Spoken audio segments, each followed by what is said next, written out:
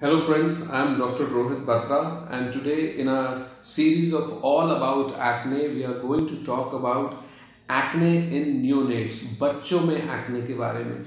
Many times people feel that acne occurs only during their teens and acne occurs only on their face but that's not true. Acne can occur at any age. Even a neonate, a one day old child born can have acne and acne can occur even to a 100 year old patient.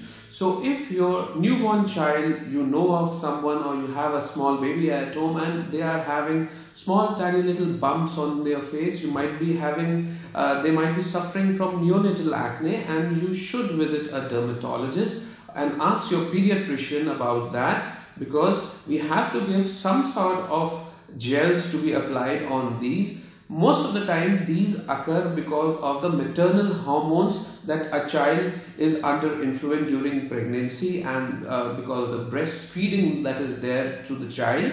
And if we don't apply at times they get infected they get pustular and that might lead to marks and scars also rarely on the face. So if you know of someone who is just born and having bumps or pimple like lesions on his or her face it's time to see a dermatologist to get it treated and prevent future scarring and marks. Thank you.